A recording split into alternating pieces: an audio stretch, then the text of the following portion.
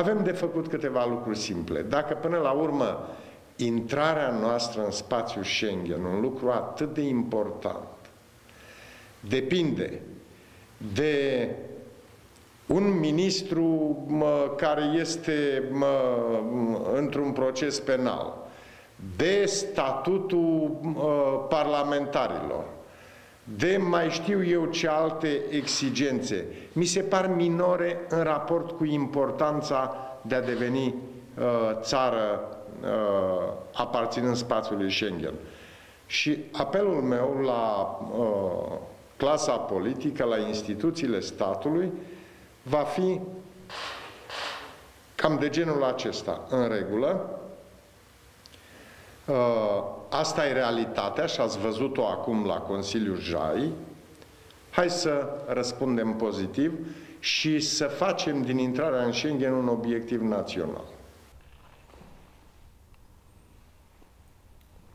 Mi se pare că soluția dată de Consiliul Justiție și Afaceri Interne este cea, nu numai cea pe care o anticipam, dar și cea care ne va permite în acest interval să soluționăm toată problematica ridicată de ultimul raport MCV.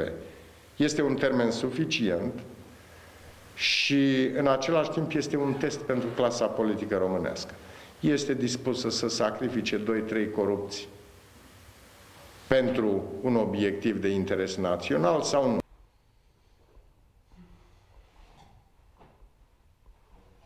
Știm ce se întâmplă la Chișinău și sperăm foarte mult în găsirea unui compromis între partidele componente ale alianței, pentru că altfel Moldova va rata enorm.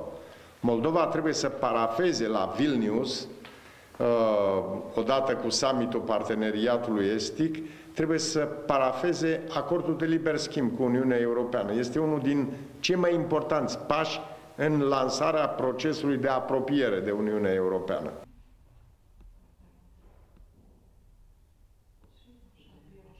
Trebuie să fie o mare ambiție uh, intrarea în zona euro. Știți probabil că noi am, fi, am avut ca obiectiv uh, anul 2015, n-am spus început sau sfârșit, să spunem sfârșitul 2015, Trebuie să facem o analiză zilele acestea, uh, să luăm o decizie dacă menținem obiectivul sau îl mai extindem cu un an sau două.